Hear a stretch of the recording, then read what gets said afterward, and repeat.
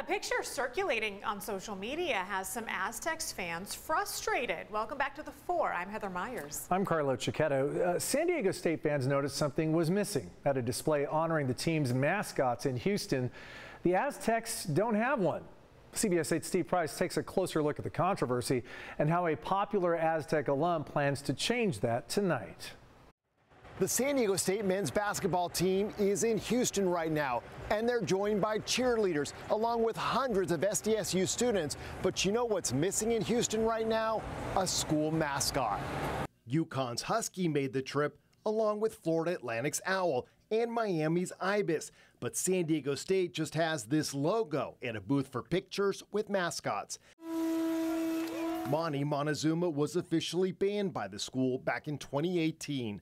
Change the mascot, we demand! After some students protested, arguing he mocked Aztec culture.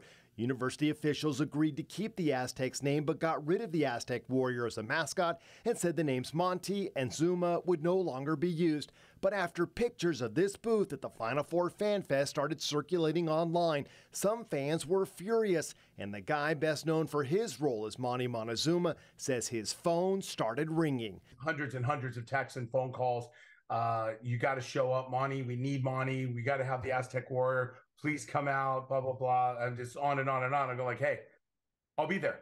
Carlos Gutierrez dressed as Monty Montezuma from 1990 to 1998 and says he went out of his way to understand Aztec culture because he wanted to make sure he honored it all the way down to his outfit, which he'll be wearing in the stands tonight. I'm bringing back the uniform from 1992 that was made and created specifically from Carlos Alarcon out of Tijuana uh, with his conch shell that he gave me back from 1992. So this is the legit real deal OG Aztec Monty Montezuma.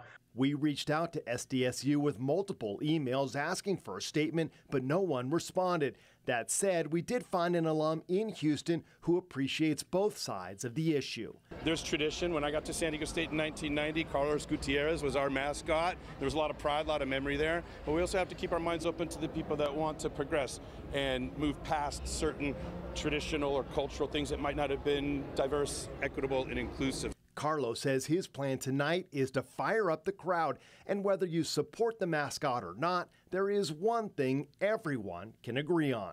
Go Aztecs, let's go. Steve Price, CBS 8.